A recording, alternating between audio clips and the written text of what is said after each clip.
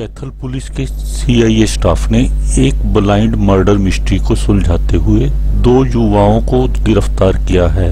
14 जून 2018 को सीवन निवासी लाभ सिंह का कत्ल हो गया था।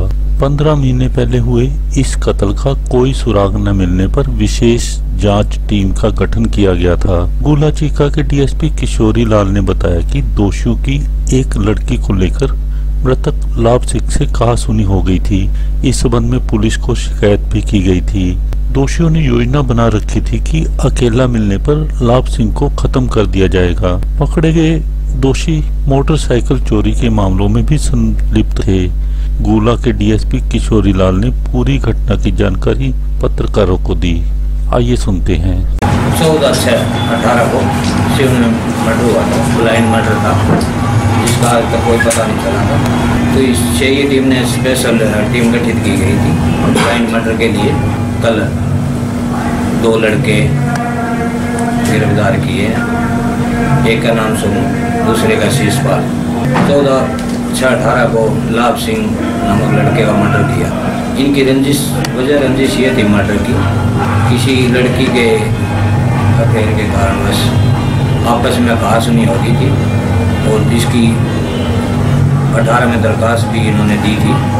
गहनता से इनसे गिरफ़्तार करने के बाद पूछताछ की उन्होंने बताया भी।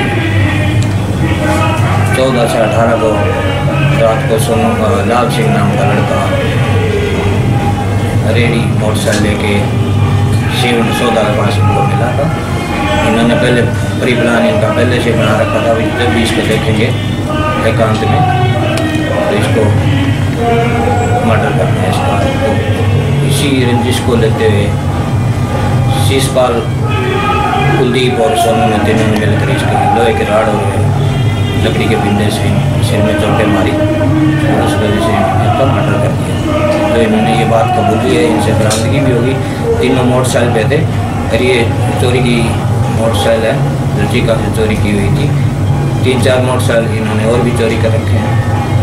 दो लड़के ये गिरफ़्तार कर लिए शिशपाल और सन्नू। कुलदीप जेल में है, किसी केस में तो उसको ही जल्द अरेस्ट किया जाएगा तो इसके कोई पहले कल्यू नहीं थे, कुछ भी कोई कल्यू नहीं, अभी इनको तफ्तीश दी गई थी स्पेशल एस पी साहब की तरफ़ से तो इन्होंने सर कि ये तो कोई इन्वेस्टिगेशन अभी इनसे पूछताछ कर रहे हैं तो कोई कोई और कलू सामने आएगा तो वो भी बताया जाए कई बार आप और भी है उनके बारे में इनके पूछताछ के बाद खुलासा ये इन लड़कों के साथ अफेयर था वो दुलाब सिंह इनके आपस में बनती थी इस वजह से वो बीच में इनको जो शिकायत थी वो लाभ सिंह ने दी थी हाँ लाभ सिंह ने शिकायत की थी। इनकी पुरानी जो लड़की है लाभ सिंह के साथ कोई रिलेटिव है अब उसका पता लगाया जाएगा अब तक कुछ नहीं कह सकते उसके बारे में।